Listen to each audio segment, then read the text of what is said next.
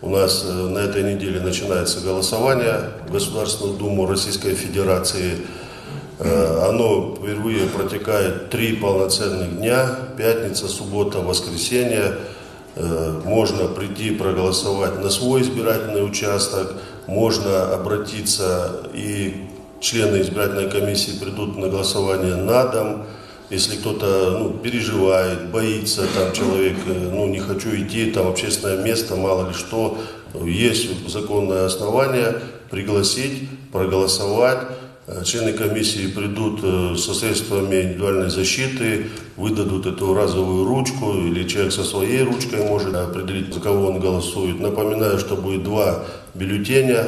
В один унесены политические партии, другой э, по 50-му Сочинскому одномандатному округу кандидаты.